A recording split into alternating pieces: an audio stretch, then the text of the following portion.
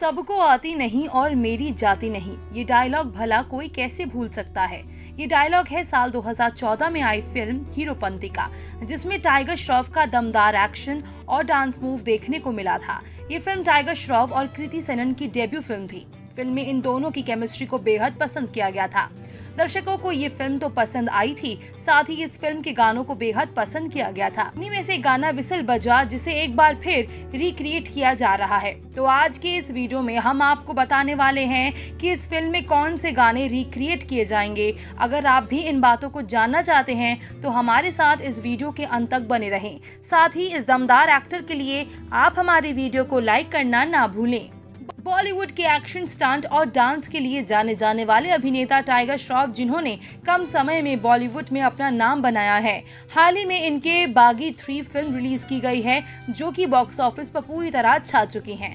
आपको बता दें, कई शहरों में सिनेमा घर बंद होने के बावजूद भी इस फ़िल्म ने 10 दिनों में बॉक्स ऑफ़िस पर डेढ़ करोड़ से ज़्यादा की कमाई कर ली है। लेकिन ऐसे में अब बागी तीन को लेकर टाइगर श्रॉफ छा चुके हैं। और बाद अब तैयार है अपनी अगली फ़िल्म को लेकर, आपको बता दें, टाइगर श्रॉफ अपनी अपकमिंग मूवी हीरोपंती टू के साथ जल्द ही बॉक्स ऑफ़िस पर नज़र आने वाले हैं। जी हाँ आपने सही सुना, टाइगर श्रॉफ जल्द ही सिनेमा घरों में हीरोपंती के पार्ट टू के साथ नज़र आने वाले हैं। जब से इस फ़िल्म की ऑफिशियल अनाउंसमेंट की गई है, तब से उनके फैंस को उनकी अपकमिंग मूवी का बेसब्री से इंतज़ार है।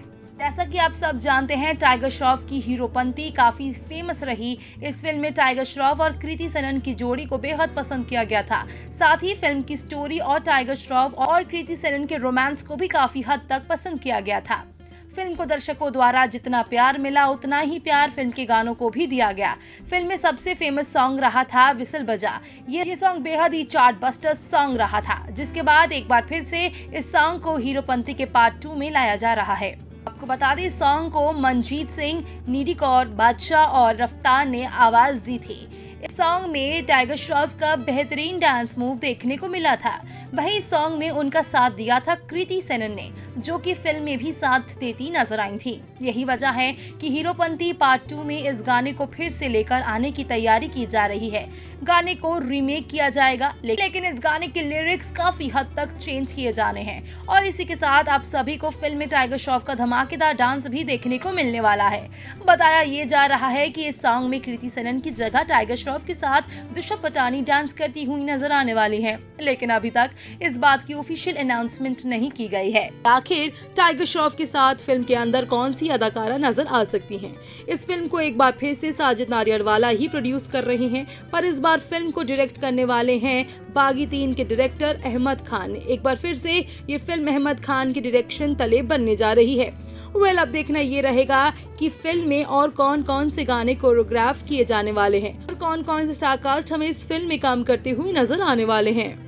तो आपको टाइगर श्रॉफ की upcoming movie Heropanti part two और उसके गाने का कितना बेसब्री से इंतज़ार रहेगा, आप हमें कमेंट बॉक्स में कमेंट करके ज़रूर बताएँ। साथ ही बॉलीवुड इंडस्ट्री से जुड़ी ऐसी और खबरों को जानने के लिए आप हमारे चैनल को सब्सक्राइब करना ना भूलें।